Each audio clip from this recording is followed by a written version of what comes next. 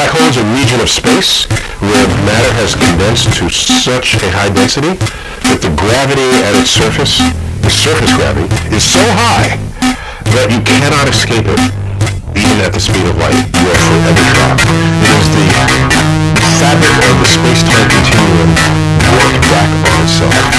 Once you fall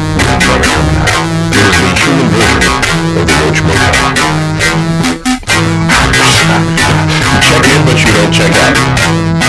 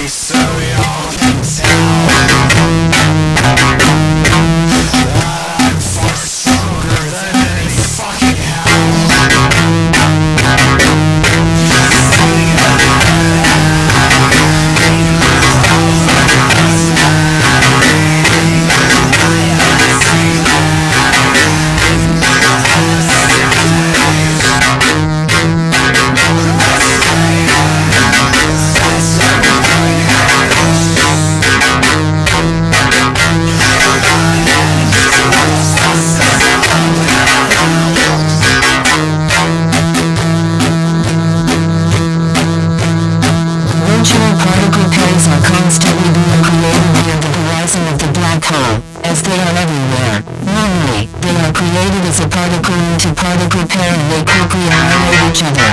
But near the horizon of the black hole, it's possible for one to fall in before the annihilation can happen, in which case the other one escapes its Hawking radiation.